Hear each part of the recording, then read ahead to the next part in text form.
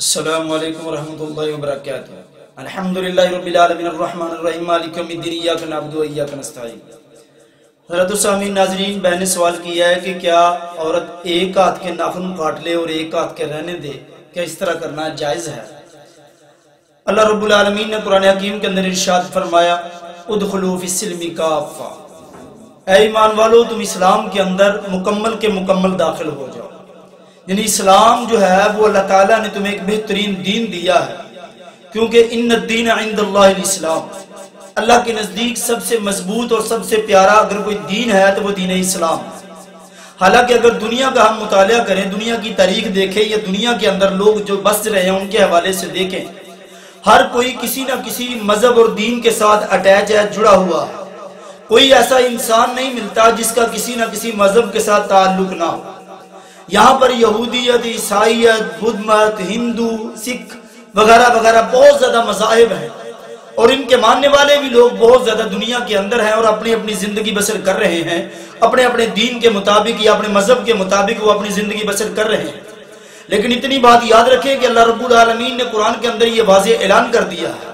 دنیا کے اندر اگرچہ بہت زیادہ ادیان کیوں نہ ہو، اس کے ماننے والے بہت زیادہ کیوں نہ ہو لیکن اللہ کو جو پسندیدہ دین ہے وہ عند اللہ اسلام وہ صرف اور صرف اللہ کے نزدیک جو دین ہے وہ دین اسلام۔ ہے یعنی دین اسلام کو اللہ تعالیٰ نے تمام ادیان کے اوپر فوقیت عطا فرمائی ہے۔ اس لیے اس کے ماننے والے اگرچہ لوگ تھوڑے ہی کیوں نہ ہو یا بہت زیادہ کیوں نہ ہو جتنے بھی ہو لوگوں کی تعداد جو ہے اس کی کوانٹٹی کے بارے میں اللہ تعالیٰ نے بات نہیں کی۔ اللہ تعالیٰ نے دین کی خصوصیت اور دین کی کوالٹی جو ہے وہ بیان کی ہے کہ دین اگرچہ ماننے والے دوسرے ادیان کے بہت زیادہ ہیں، لیکن دین اسلام ایسا دین ہے کہ وہ سب پر غالب ہے۔ مجھے اگر پسندیدہ دین ہے، اللہ کو اگر کسی دین سے محبت ہے، کوئی دین اللہ کے ہاں سب سے قریب ہے، تو وہ دین اسلام ہے۔ اور دین اسلام کیا دین حنیف یعنی محمد الرسول اللہ صلی اللہ علیہ وسلم پر جو دین نازل کیا گیا، وہ دین اللہ کے نزدیک سب سے پیارا ہے۔ اور وہ دین کیا ہے؟ دین کس چیز کا نام ہے؟ عطی اللہ و عطی الرسول کا نام ہے۔ جس کے اندر اللہ کی اطاعت ہو، جس کے اندر پیارے پیغمبر محمد الرسول اللہ کی اطاعت ہو، وہ دین اللہ کے نزدیک سب سے پیارا اور بہترین دین ہے۔ اب رہی بات یہ کہ ہم دین کے اندر مکمل طور پر داخل ہو جائیں۔ دین میں مکمل طور پر داخلہ کیا ہے؟ دین کے اندر مکمل داخلہ یہ ہے کہ میں زندگی میں جو کام بھی کروں، میں جو عمل بھی کروں، وہ اللہ کے دین کے مطابق ہونا چاہیے۔ یہ نہیں ہے کہ ایک کام کرتے ہوئے میرے دل اس چیز کو پسند نہیں کر رہا، میری ذہن کے اندر، میرے ذہن میں وہ بات صحیح نہیں بیٹھ رہی یا میرے مزاج کے مطابق وہ بات نہیں ہے، لہٰذا میں اس بات کو چھوڑ دوں۔ جو میرے مزاج کے مطابق ہے، جو میری طبیعت کے موافق آئے، میں وہ عمل کر دوں، ایسا نہیں ہے۔ دین کے اندر اس طرح کی بات نہیں ہے۔ دین کے اندر میرا یا کسی اور کا کوئی مزاج نہیں ہے، میرا یا کسی اور کا کوئی ذہن نہیں ہے، میری یا کسی اور کی کوئی سوچ نہیں ہے۔ دین کے اندر اگر مزاج ہے تو قرآن و سنت کا ہے۔ دین کے اندر اگر سوچ ہے، اللہ اس کے رسول کی ہے۔ دین کے اندر اگر کوئی طریقہ ہے تو وہ اللہ اس کے رسول کا ہے۔ اللہ اس کے رسول کا جو طریقہ ہے، وہی دین حنیف ہے۔ اللہ اس کے رسول کا جو حکم ہے، وہی ہمارے لیے بہترین قسم کا دین ہے۔ اسی کی اتباع، اسی کے مطابق زندگی بسر، اسی کے مطابق شب و روز، اسی کے مطابق ہمارا دن اور رات گزرنا چاہیے۔ جب اس کے مطابق ہوگا، پھر سمجھ لو ہم اس نے صحیح معنوں میں دین حنیف کو چن لیا ہے۔ دین حنیف کو اپنے لیے صراط مستقیم جو ہے، اس کا انتخاب کر لیا۔ اب ادخلو فی السلم کافہ مکمل طور پر دین کے اندر داخل ہو جائے مکمل طور پر مطلب آپ کی زندگی کی ابتدا اور انتہا، سارے کے سارے کام جو ہیں وہ دین اسلام کے مطابق ہونے چاہیے۔ یہ نہیں ہے کہ روزگار میری مرضی کا، نماز اللہ کی مرضی کی۔ طریقہ کار روز، روزی کمانے کا میری مرضی کا، روزہ ہم اللہ کی مرضی کا رکھیں گے۔ ایسا نہیں ہے۔ اپنی مرضی تو ہے ہی نہیں اس کے اندر۔ دین اسلام کے اندر اپنی مرضی نہیں ہے۔ چونکہ اپنی مرضی ختم۔ جب انسان نے کلمہ پڑھ لیا، دین اسلام کے اندر داخل ہو گیا، پھر اپنی من مانیاں اپنی مرضیاں ختم۔ پھر صبغت اللہ، صرف اللہ کا رنگ چلے گا۔ اللہ کا حکم چلے گا، اللہ کا راستہ چلے گا اور اس کے رسول کا راستہ چلے گا۔ اس کے علاوہ کوئی اپنا ذہن اس کے اندر نہیں آتا۔ اسی لیے تو کہا گیا کہ یہ خود تو بدلتے نہیں، قرآن کو بدل دیتے ہیں کہ اپنے آپ کو بدلنے کی کوشش نہیں کرتے، بلکہ سوچ کیا ہوتی ہے، قرآن ہماری عادات کے مطابق ہو جائے۔ جو میں کام کر رہا ہوں، اللہ کرے، قرآن میں سے کوئی ایسی بات نکل آئے۔ قرآن ہماری طرح کا کیوں نہیں ہوا؟ جیسے ہم کرتے ہیں، قرآن ایسے کیوں نہیں بنتا؟ میرے بھائیو، ایسا نہیں ہے۔ ہمیں قرآن کے مطابق ہونا پڑے گا۔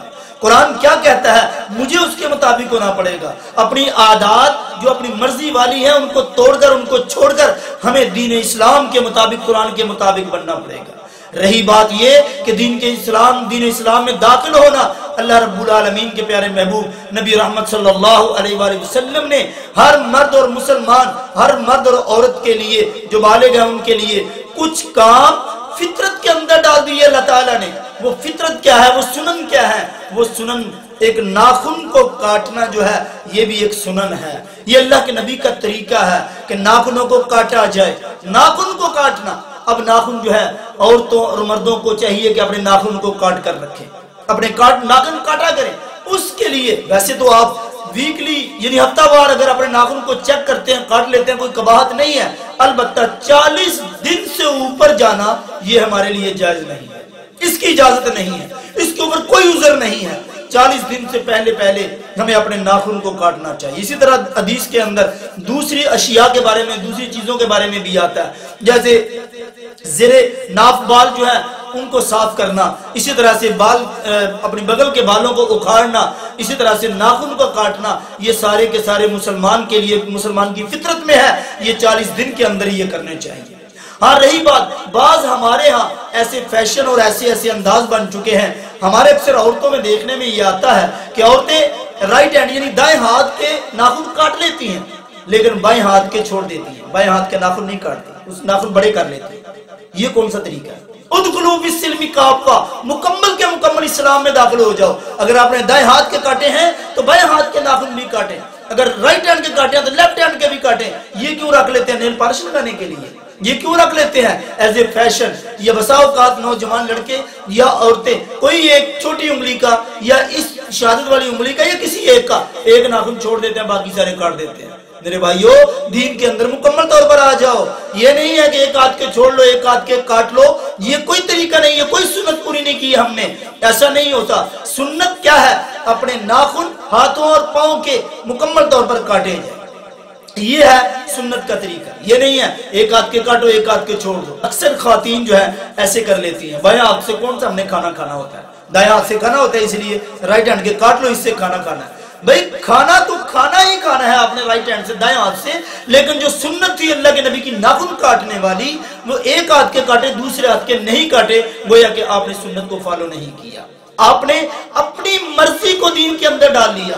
میرے نبی کے طریقے کے مطابق نہ ہوئے۔ اس طرح سے ایسا کرنا جائز نہیں ہے۔ یہ طریقہ شریعت والا نہیں ہے۔ شریعت میں اپنے ہاتھوں کے ناخن، اپنے پاؤں کے انگلیوں کے ناخن کاٹنا چالیس دن کے اندر مکمل کے مکمل۔ یہی سنت ہے، یہی طریقہ صحیح ہے۔ اگر اس کے علاوہ کوئی ایک ہاتھ کے کاٹتا ہے، ایک کے نہیں کاٹتا یا کسی انگلی کے ناخن چھوڑ لیتا ہے۔ یہ سب، یہ سارے کے سارے غیر شرعی ہیں، یہ جائز نہیں ہے۔ اللہ تعالیٰ سے دعا ہے۔ اللہ تعالیٰ ہم سب کو صحیح معنوں میں قرآن سنت کو پڑھنے کی، اس پر عمل کرنے کی توفیق عنایت فرمائے۔